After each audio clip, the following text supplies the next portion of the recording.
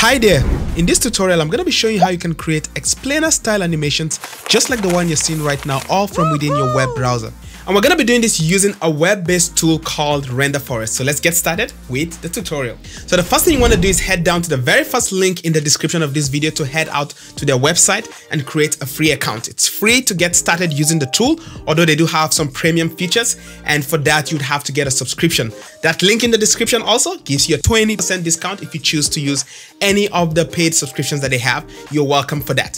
So once you've created an account, since it's a web-based tool, you can use this on either Windows, Mac, or anything actually that runs a browser, including your mobile device. Although they actually have a mobile app specifically for this, I'm going to cover that in another tutorial. So you want to make sure you subscribe to the channel to see that when it comes out. So once you create an account, you have access to five different design tools, sort of your own DIY digital agency. So the first is a logo design tools, which you can use to customize logos and create a logo for your business. The next one is a tool that helps you create product mockups. So things like t-shirts, cups, and things like that. If you want to do a mockup for that, they have a tool right here that can help you with that. And then they have a graphic design tool that you can use to design social media flyers and different types of design and graphics. And then they also have a web design tool, which you can customize some template and create a website if you're interested in doing a website for your business. And then finally, they have a video creation tool that can create different types of videos, including YouTube videos, intros, and things like that. But specifically, what we're interested in today is the animation videos that this tool has, more specifically, even the explainer videos. So let's get started with that. We're gonna pretend that I have a travel company that helps you plan your fun summer vacation. So we're gonna create a little promo that we're gonna put on social media for my travel company. So to create your animation videos, the first thing you wanna do is just head over to videos and click on the animation option. So as you can see here, they have different styles of animation, both 3D, uh, whiteboard animations, and all of that. Since we're doing a travel animation, I'm gonna go ahead and search for the travel option right here on the top. So I'm just to go to the search field and search for travel. Let's see what they have available. So you can see we have different options, but I'm interested in the 2D style explainer animations. So I'm to click on the Adventure Toolkit, which is in theme with our travel video. And once we're done, we just click on Create Now. So once that loads up, there are three ways you can create uh, videos using the tool. The first is taking advantage of some of the existing templates that they already have here in that adventure team. So you can see here that they have different styles. They even have this carpooling community. So if I click on that and play it through, I can see uh, what the video looks like. And if this is in theme with what I was trying to design, I could edit the template and change up the scenes, change up the text and things like that. The second way to create your animations is by, if you already have a script of what you want your video to say, you can click up on the option here that says type your story and just type in the stories and it's going to use artificial intelligence to try to automatically detect what scenes you need to have in your video.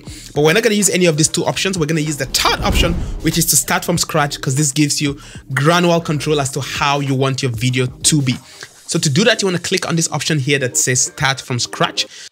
So once you do that, it gives you access to the entire library of contents that they have and we can search for specific scenes that we need to use. So I'm going to start by searching for a scene of an office. We want to show somebody stressed in an office.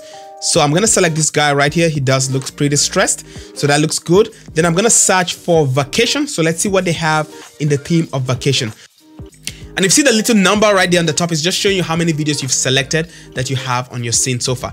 And then probably we're also going to select this. We're going to use this to show our logo. So as you can see, it has a little premium icon at the top. So this means it's a premium scene. You would have to have a subscription to use this particular scene right here.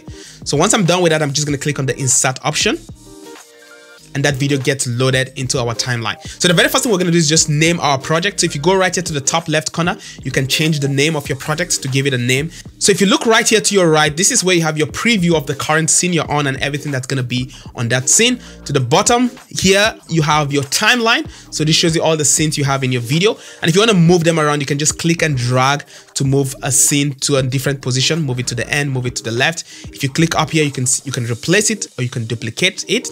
And then if you click on the little plus green arrow right here, you can add another scene to this. Actually, let's go ahead and add one more vacation scene. So I'm just to click on that and search uh, for travel.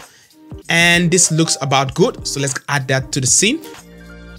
Alright, so far this is looking good. Now let's talk about changing some elements in the scene like the text and logos and things like that. So let's go to the first scene and change the text. So you can change that by simply just clicking on the text box right here and paste whatever text you want to put in here. And right here to the left, you can change things like the font. So I'm going to choose this font right here. And then if you go back to the edit, you can also change the size uh, of the font and save that. And then if you notice, you are not seeing any changes happening and that's because uh, you have to create a snapshot. So if you click on the snapshot button right here at the bottom, it's going to generate a snapshot of how this is going to look once you render it. So that's a snapshot of what the scene looks like when you render it. So I'm going to go to the last scene, uh, which is supposed to display our logo. So I'll click on the image option and I have several options here to upload images. So I'm going to click on upload and choose a logo here that I've created earlier on and that's going to show here as our logo in the video. All right, that's it. We're pretty much done. So the final step is just to choose the style, which is choose the style of uh, cartoon characters that you want. And then you can also change the color or either use another preset or do custom colors.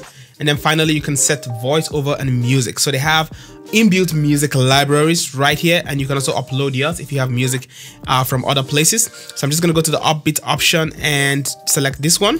So to add it, you just click on the plus sign right here and that adds that to the length of your scene. And then you can also add a voiceover.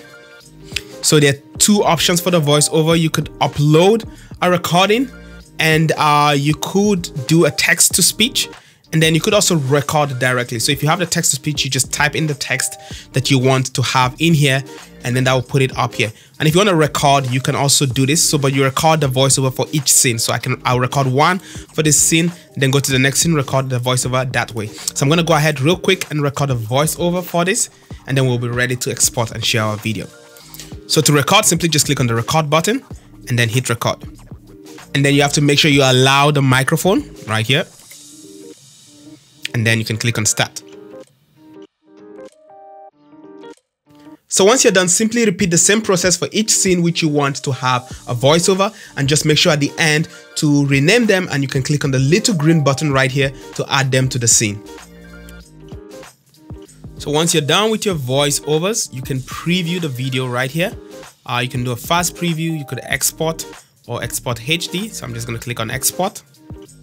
So once our export is done, I'll show you what the finished product looks like. But if you're enjoying this video in any way, do give it a thumbs up. It goes a long way in helping me grow this channel. Thank you so much. I appreciate it.